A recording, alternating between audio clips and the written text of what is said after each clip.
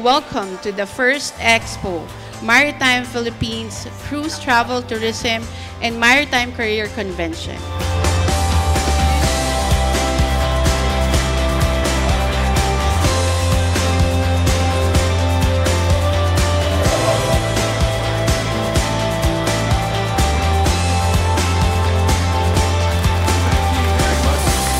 I am filled with immense and pride and optimism.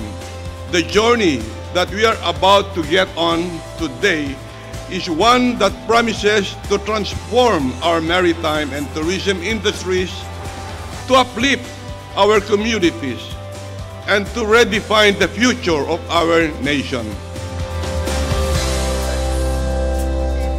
Kailangan po tayo magtulong-tulong at magkaroon ng pagkakaisa para po sa ikakaganda ng ating turismo sa Pilipinas at para makapagbigay tayo ng mas maraming job opportunities, hindi lang po para sa Marino, kundi sa lahat ng Pilipino from Luzon, Visayas, Mindanao. The department is continuously seeking cooperation with stakeholders to provide work opportunities for our Filipino seafarers and make them more competitive in the shipping industry at the global stage. We foresee the creation of job opportunities for millions of Filipinos, economic benefits for our local businesses, and an increased investment in our country. The Department of Tourism is here to work with you and to understand the challenges and to come up with solutions that are workable, feasible, and immediately implementable so that in the short, medium, and long term, we can see the further expansion of the cruise tourism industry in the country.